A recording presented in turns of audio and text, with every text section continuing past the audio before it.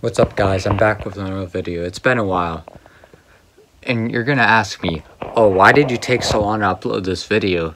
They lost Sunday, it's, it's Friday. Or this, we had no business being in that game. We were gonna get beat 39.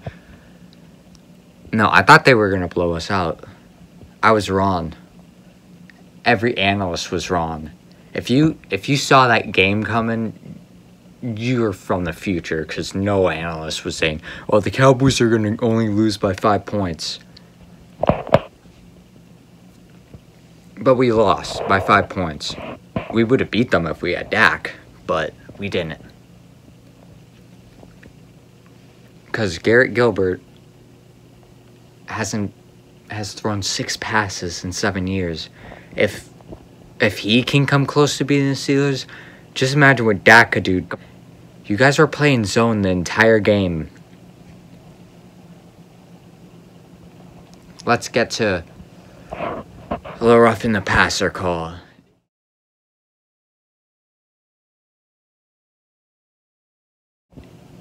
If you say that's roughing the passer,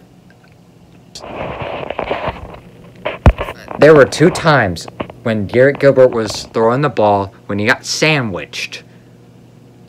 Like, he already threw the ball. TJ Watt just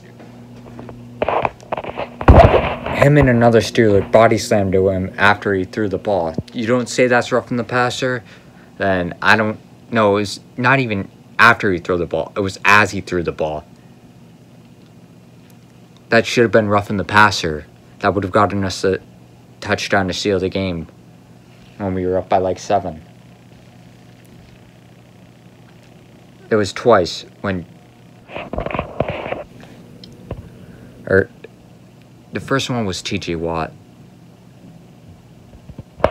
And then the second was was TJ Watt and like number 90. I don't know his name because he's irrelevant. But two times.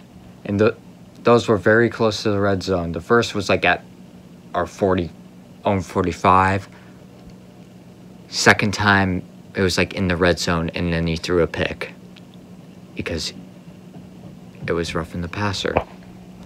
But I'm not to say, because the refs suck. Jaylon Smith barely touched his helmet, and it was way after he threw the ball. He had already thrown the ball.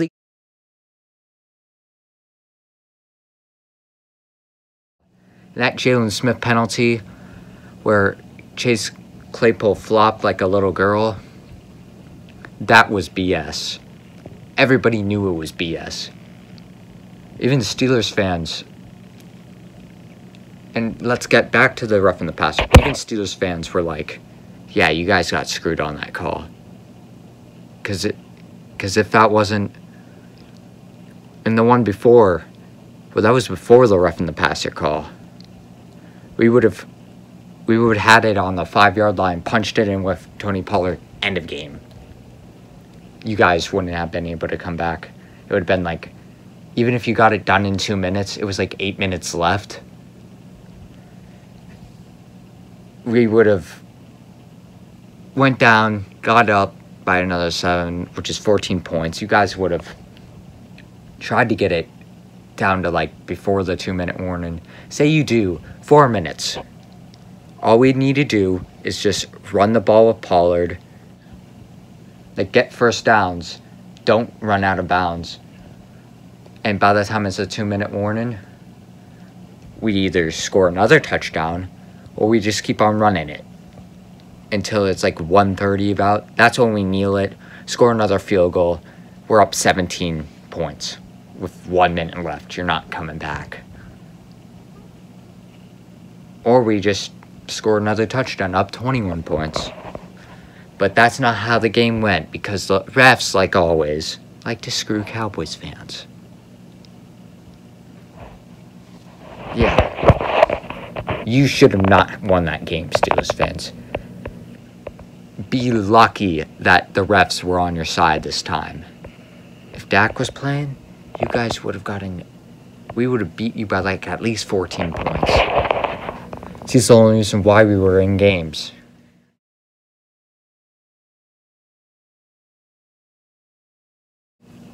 And for those Steelers fans,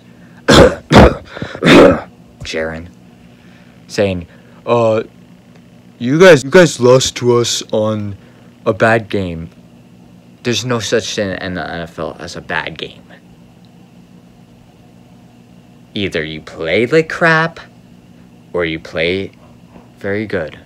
You fans up there who like to put your team up here and say, "Oh, we're going 16 and 0." You don't get to use that excuse against a 2 and 6 team.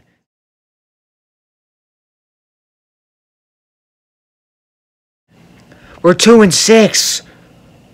We literally are are in line for a top 5 draft pick. If you lose almost lose to a team, you don't get to and say that you're the best team. You're going to get beat. And for those of you who say you're going to the Super Bowl, the furthest you're getting is conference championship. If you're lucky. It all depends on what teams make it. I know the Chiefs and the Steelers are making it.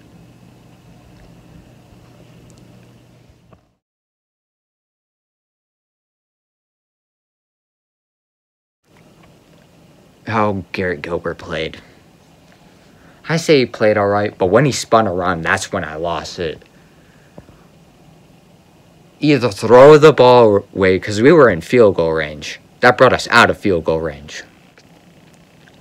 Because it was third down, and then we were forced to punt for. And then. Okay, that's it. I'm changing my Dak Prescott jersey.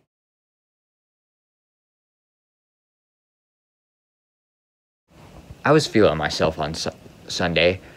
We almost beat an undefeated team, so that's the only time I was happy. I didn't care. I I honestly was ticked off because the player, the Leighton Vander Esch call was total BS. Like, like I know that he retaliated, but the dude literally wasn't gonna let go of his helmet because he didn't get the first down and it was on third down, and he didn't convert. And second of all, your run defense absolutely sucks. It's not as bad as the well, actually, the Cowboys' run defense is actually pretty good. I mean, we, you guys couldn't convert. You had like two plays that went past the first down every time you ran. There was like a few plays. And the special teams coach, bro, that play was nice. Even though he would have gotten in the end zone if um it would have been if it wouldn't have been a legal block in the back. That actually helped the Steelers kind of because if he wouldn't have pushed him in the back, that dude would have been gone. And that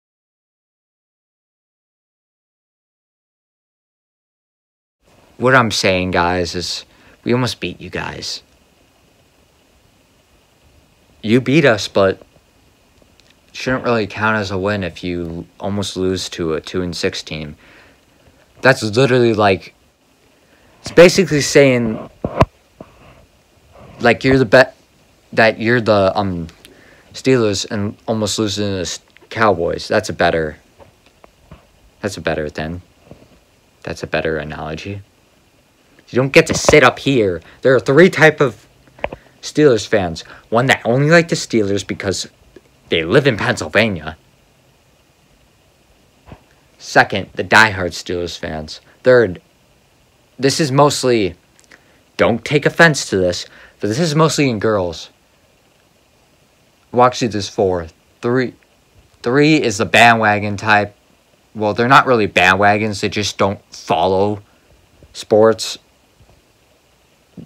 that don't know any of the players but just like the Steelers. Fourth is they only like fourth is that type of fan that only likes a team for their colors. I'm kidding. That's not anything. That shouldn't even exist. They're not even a fan. They're just like a team. Just to like a team.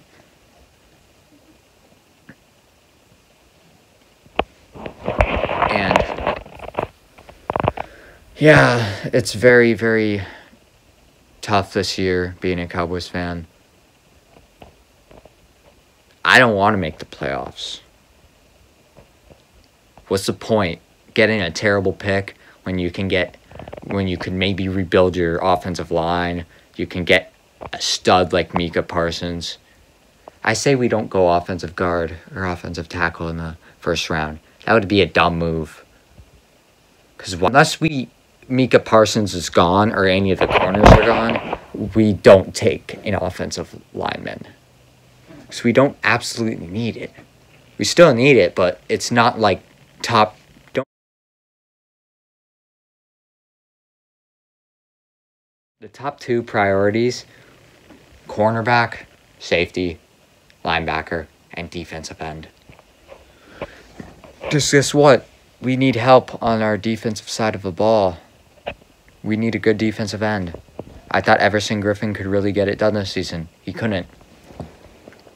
So next video that I do will probably be mostly about a good topic that first take and pretty much all the analysts are saying should the Cowboys draft if they somehow get the first or second pick should they draft Trevor Lawrence or Justin Fields but that will be next video peace guys. You almost lost to the Cowboys. That's really sad. Just saying that. It should count as a loss bro. Peace. Trash.